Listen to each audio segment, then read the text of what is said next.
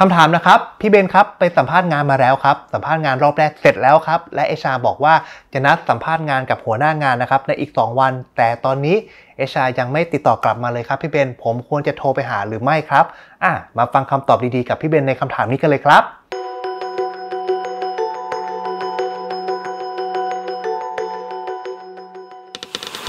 คำตอบของคำถามนี้นะครับน้องๆพี่เบนบอกเลยนะครับว่า ทั้งโทรถามได้และก็โทรถามไม่ได้ก็ได้นะครับอะทำไมพี่เบนถึงตอบอย่างนี้ครับสุดท้ายมันอยู่ที่น้องนะครับว่าจะโทรถามหรือไม่โทรถามนะครับสำหรับพี่เบนนะครับ ถ้าเราโทรถามนะครับ สิ่งที่เกิดขึ้นคือเราจะรู้คำตอบนะครับ ว่าเขาจะให้เราไปสัมภาษณ์งานต่อในกี่วันนั่นเองนะครับหรืออาจจะไม่ได้เรียกการสัมภาษณ์งาน หรือเขาอาจจะบอกว่าเฮ้ยรอไปก่อนนั่นเองนะครับดังนั้นการที่เราโทรไปนะครับจะมันจะมีจุดที่เป็นข้อเสียนะครับ นั่นก็คือเขารู้ว่าเราอยากได้งานมากนะครับ ดังนั้นถ้าเราผ่านผลสัมภาษณ์งานถึงรอบสุดท้ายเนี่ยอาจจะมีการกดเงินเดือนเกิดขึ้นได้นั่นเองนะครับดังนั้นสำหรับพี่เบนนะครับโทรถามได้นะ แต่เราจะต้องรับความเสี่ยงให้ได้ด้วยนะครับว่าเราอาจจะมีการโดนกดเงินเดือนเกิดขึ้นนั่นเองนะครับส่วนถ้าไม่โทรถามนะครับสำหรับพี่เบนเนี่ยก็เหมาะสำหรับน้องที่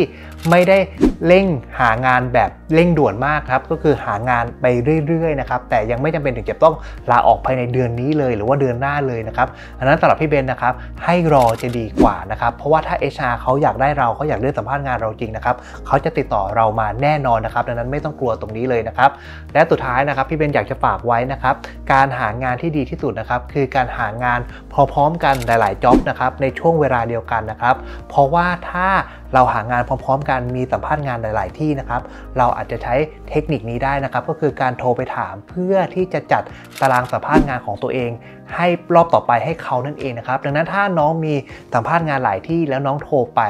เพื่อที่จะอย่างเคสเนี้ยโทรไปแล้วถามเขาว่าเฮ้ยพี่ครับผมจะสัมภาษณ์งานรอบต่อไปวันไหนครับเพราะว่าผมจะต้องจัดตารางสัมภาษณ์งานผมมีที่อื่นด้วยครับอันเนี้ยมันจะทำให้เราไม่มีความกดดันนะ เพราะว่าเรามีสัมภาษณ์งานที่อื่นด้วยนั่นเองนะครับไม่ใช่เพราะว่าเราโทรไป และก็